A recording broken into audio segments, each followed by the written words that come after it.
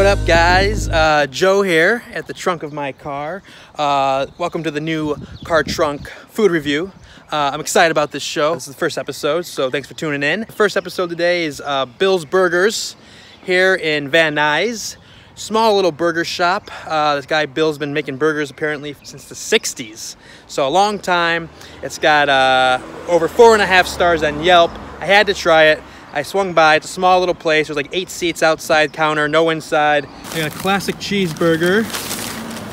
Here at the trunk of my car, filming this myself. Let's see what this looks like here.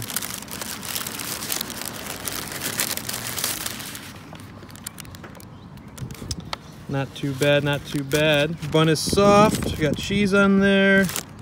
And uh, looks like lettuce, pickle, tomato, a little bit of mayonnaise.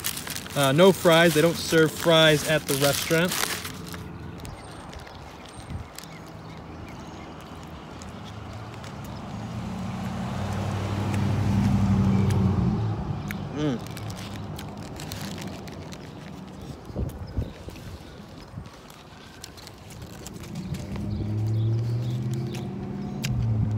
The first car trunk food review.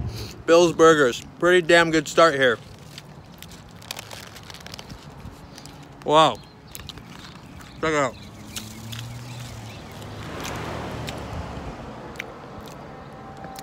It's exactly what you picture.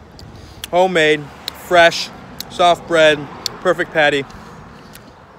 The mayo, the mixture of the uh, tomato, pickles, everything.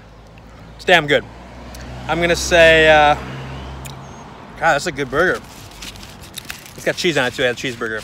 450 by the way. 450 for the cheeseburger, and uh, hamburgers like 350. Double cheeseburger like five bucks. You gotta check it out. Honestly, mm. one of the best burgers I've ever had. I'm starting the show off with a 9.1. Whoa, 9.1 for this burger. Yeah, it's worth the drive. If you're in the Van Nuys area or just in LA in general, you want to try a new burger, Bill's Burgers. Check it out. Thanks for watching. More to come. Have a good day. Peace.